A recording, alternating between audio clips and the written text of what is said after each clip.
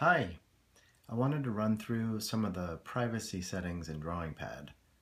So if you're in the um, iOS settings app and you have all these apps, for instance, uh, Flappy Golf, uh, allow Flappy Golf to access the notifications feature of iOS. Or Crossy Roads, Allow Crossy Roads to access photos, microphone, camera, and notification.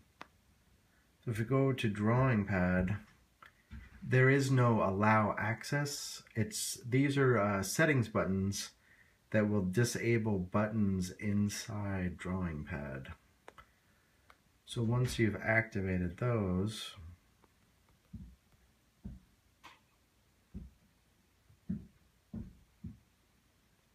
and uh, go to the share button. So now the email button is grayed out because we, and so is Twitter and Facebook because we uh, disabled those. so now if we're drawing and we want to save this to our camera roll, we push this button. Now Drawing Pad's going to ask, or the iOS is going to ask, do you want to allow Drawing Pad access to your photos? So we press OK, and now in the settings, uh, allow Drawing Pad to access photos.